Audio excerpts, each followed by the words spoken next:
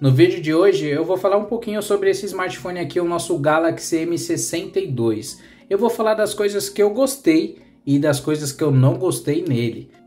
Nós estamos aqui com o nosso Galaxy M62, então vamos já aí para para nossa análise, né, das coisas que eu gostei, das coisas que eu não gostei, então vou falar tudo aqui para vocês nesse vídeo. Não esquece que quando tem promoção eu coloco lá no nosso grupo de ofertas, a gente já achou esse smartphone por 1.700, 1.500 reais, então dá uma olhadinha lá no nosso grupo. E se você gosta de vídeos assim, não esquece de se inscrever no nosso canal, a gente sempre traz análises sinceras aqui para vocês, então a gente se esforça bastante para trazer essas análises e vocês ajudam bastante o canal quando se inscreve. Com relação ao que eu gostei, vamos lá então.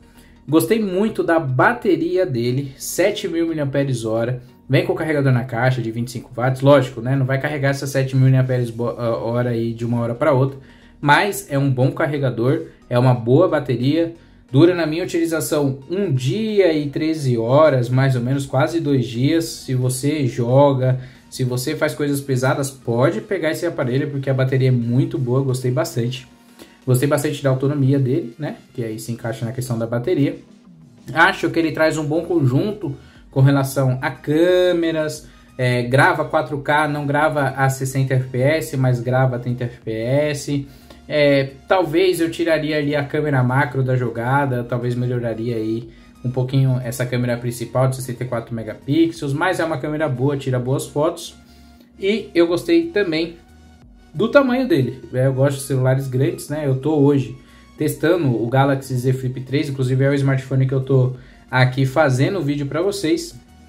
Mas é, eu gostei bastante, 6.7 polegadas, uma tela bacana. A qualidade é boa, mas aí vai nos pontos agora que eu não gostei, que é ele tem 60 Hz de atualização. Na minha opinião, você acostuma com 60 Hz, mas para quem já pegou celulares aí top de linha, o S20 FE, Galaxy Z Flip 3 que seja, é, essas 60 Hz você acaba notando. E também é, a própria, própria qualidade da tela, né? Ela é uma tela, vou até pegar aqui na minha colinha para não falar errado para vocês.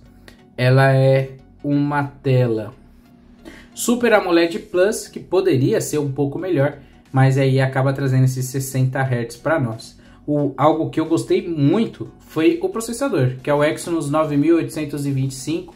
É um processador muito bom, roda jogos, é um processador top de linha antigo, né? É de 2, 3 anos atrás, que equipava a família Note. Mas assim, é bom para jogar. Vai conseguir a Asphalt 9, testei, testei alguns jogos, rodou tranquilamente. É, questão de desempenho, etc. Tem 8 GB de RAM ela é, é interessante porque a Samsung tem até aquela memória compartilhada, né? Porque ela tem 128 GB e esses 128 GB pode até ajudar você se caso você estiver precisando de memória RAM. Mas 8 GB está tranquilo, não tive problema de travamento de, de, de aplicativo e etc. Então gostei muito disso. Então esses são os pontos gerais aqui do nosso M62, as coisas que eu gostei e as coisas que eu não gostei nele. Espero que vocês tenham gostado do vídeo, não esquece de se inscrever no nosso canal e deixar o like. Até a próxima!